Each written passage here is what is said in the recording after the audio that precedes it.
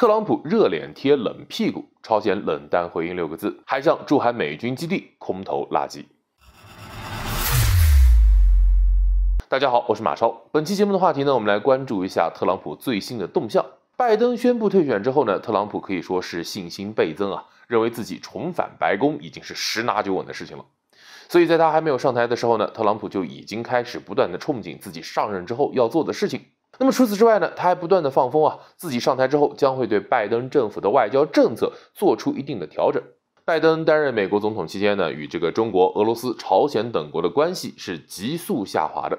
但是特朗普在对待朝俄方面的态度呢，却和拜登政府有很大的出入。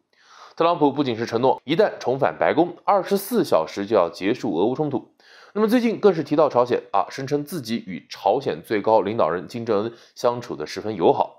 那么他打算在十一月再度当选美国总统之后呢，要恢复和金正恩的关系。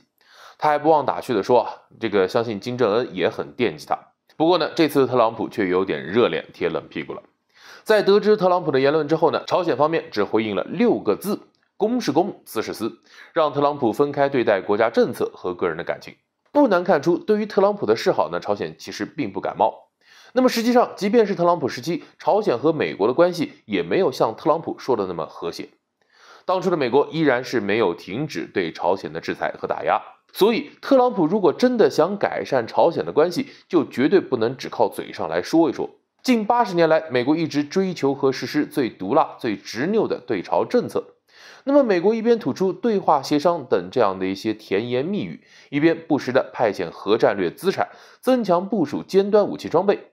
朝鲜显然已经是把美国的作风给研究透了，不会再轻易的相信。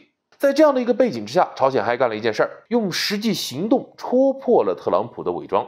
那么最近这段时间，朝鲜和韩国在互相投放这个垃圾气球啊。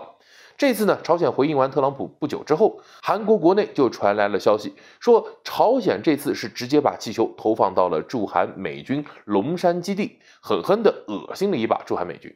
那么从驻韩美军这件事情上，我们其实就可以发现特朗普的双标，因为特朗普口口声声说啊要和朝鲜搞好关系，但是呢，并没有说会撤走驻留在韩国境内的美军。韩国方面就透露啊，由于担心特朗普上任。那么，韩国提前与美国就这个驻韩美军军费分摊协议展开了谈判，担心特朗普到时候狮子大开口，索要更多的钱。那么反过来看，我们是不是可以理解为啊，只要有足够多的钱，那么即使特朗普上台了，韩国也可以砸钱留下这批驻韩美军，甚至让特朗普带领的美国回心转意呢？那么，只要美军一直留在韩国，朝鲜就不可能信任特朗普，特朗普也不可能与朝鲜搞好关系。那这么来看的话，特朗普所谓的与朝鲜、俄罗斯等国搞好关系，不过就是为了分化这些国家，最后再逐个击破。好了，本期节目的话题呢，我们就说到这里。未来美朝关系会有一个什么样的变动呢？欢迎在评论区留言讨论啊！别忘了点赞转发。我们下期节目再见。